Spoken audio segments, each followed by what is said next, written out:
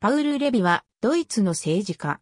1919年1月のスパルタクス団放棄でローザ・ルクセンブルクとカール・リープクネヒトが殺害された後、ドイツ共産党党首に就任。党から一騎主義者を追放し、ドイツ社会民主党の反指導武装との統一戦線戦術を推し進めたが、コミンテルンによるイタリア社会党に対する分裂工作に反対したため失脚。1921年3月の3月闘争を一騎主義と批判したことで、レーニンの不況を買って除名された。除名後は共産主義労働者団結成を経て、独立社会民主党に参加。同党が社会民主党に合流した後には、同党内の左派陣営の指導者となった。プロイセン王国、ホーヘンツォレルンケニエ信玄の裕福なユダヤ人商家に生まれる。シュトゥットガルトのギムナジウムに学ぶ。1906年にはフランクフルトで弁護士として働き、同年ドイツ社会民主党にも入党。ローザ・ルクセンブルクやカール・リープクネヒトと共に党内左派を形成するが、1913年以降、ルクセンブルクの弁護を請け負うようになる。1914年にはフランクフルト市議会議員に社民党から出馬し、初当選を果たす。スパルタクス団の前身である国際派の結成につながる1915年3月の集会では代表委員を務めた。翌月徴兵され、ホスゲスに送られることとなる。1916年に除隊すると、スイスに定住、カール・ラデックやグリゴリー・ジノビエフ、ウラジミール・レーニンと親交を結ぶ。その後、ツインマーバルト左派に属し、新インターナショナル結成に尽力、ハルシュタインの筆名で執筆活動を行った。封印列車でドイツを旅行中、レーニン及びロシア革命に賛同する宣言に署名。10月革命以後はドイツに戻り、1918年3月よりベルリンでスパルタクス団の機関紙の編集者となった。同年12月30日から翌31日にかけて行われたドイツ共産党設立集会に際しては全国会議に関する議論を採用。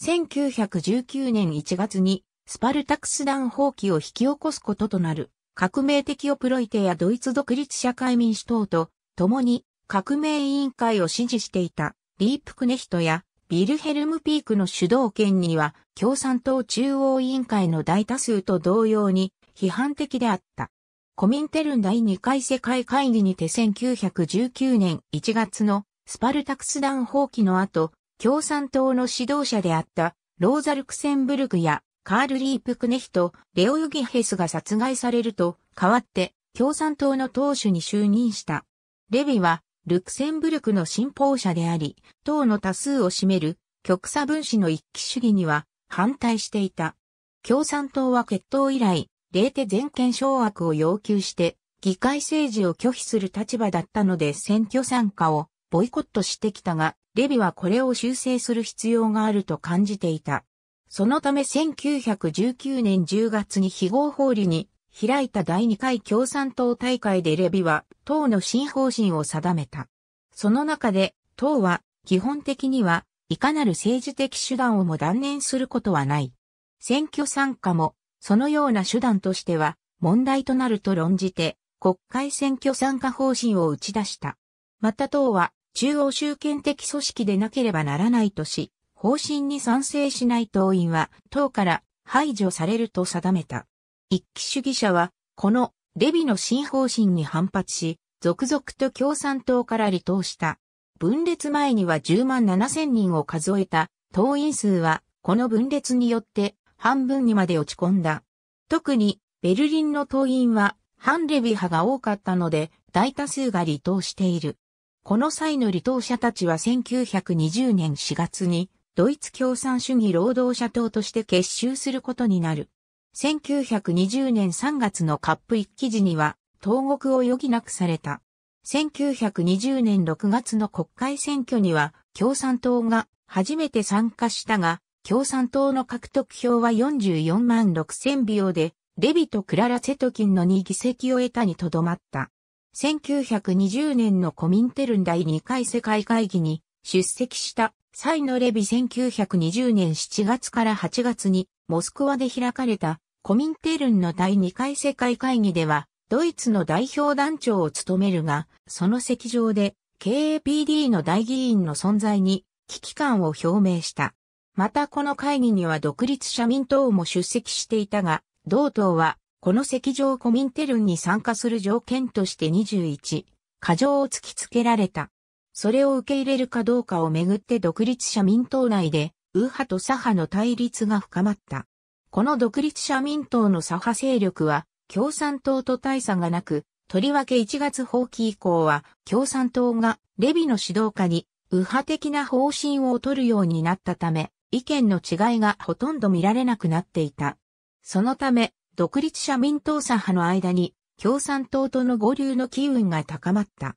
10月の独立社民党大会は、コミンテルンがあらかじめ多数派工作を行っていたため、コミンテルン参加と共産党との合同が決議された。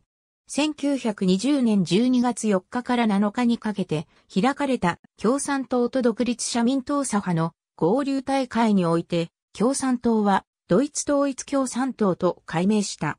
新たな中央部には議長としてレビと独立社民党から移ってきたエルンスト・ドイミヒが共同で就任した。レビのあくまで直接的な革命とは距離を置き、広範な層の労働者と連帯しようという立場が44万9700名もの党員を要する大政党を作る原動力となったと言える。さらにレビは1921年1月に労働組合や社民党、独立社民党の組織との統一戦線戦術を打ち出し、共同活動のための最低考量を公開書簡としてまとめ、その中に賃金をインフレに適用させること、プロレタリアの自衛組織を作ること、ロシアとの関係を認めること、経営、レーテによる生産管理などの条件を盛り込んだ。社民党執行部はこれを拒否したが、社民党の地方機関では、公開書簡に基づく共同活動に賛成するものが多かったため、レビは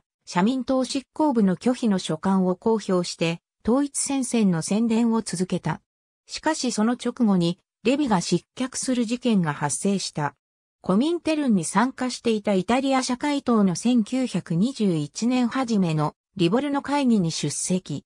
コミンテルンの大議員であるラーコシ・マーチャーシュらから支援を得てイタリア共産党結成に動き出していたアントニオ・グラム氏やアマデオ・ボルディガラの派閥に批判的なジアチンとメノッティ・セッラティ支持を打ち出す。その後ラーコ氏はドイツにやってきてドイツ共産党に支持を求めたが、そこでレビは公然たるラーコ氏批判を行った。レビはコミンテルンによるイタリア社会党分裂工作はセクトの利益のために大衆政党の発展を妨げていると考えていた。しかし共産党内におけるコミンテルンの権威は絶対であったので、ラーコ氏を批判したレビは、朝廷派、日和見主義者とのレッテルを貼られるようになった。イタリアをめぐる中央委員会での議論を経て、レビア、その支持者は、ラデックやラーコ氏の反対に遭い、投票権を失う。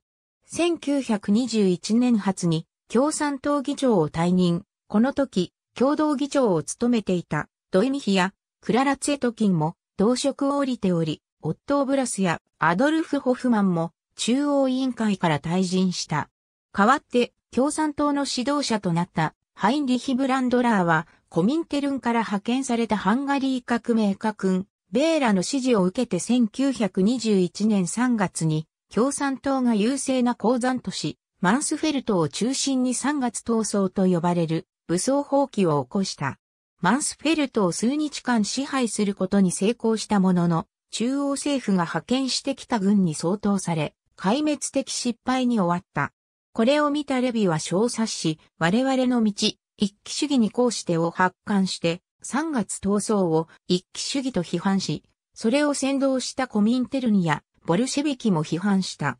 しかし4月の中央委員会総会は3月、闘争は1919年闘争のごとき、一騎主義ではなかったとする見解を採択し、レビを中央委員会から追放した。5月に入るとツェトキンがレーニンを説得して3月闘争の失敗を認めさせ、クンベーラら公正主義者に有罪が申し渡されたが、レビの復権は認められなかった。その理由についてレーニンは、レビの言うことはすべて正しい。しかし彼は小冊子を、1921年6月から7月にかけてのコミンテルン第3回世界大会は3月闘争についてご理由があったとしつつも、自らの力で革命の進展に関与し、革命を促進し、それによって大衆に対する指導権を獲得しようとした最初の試みと評価し、コミンテルニやロシア共産党への批判は許さず、レビの除名を承認した。共産党除名後、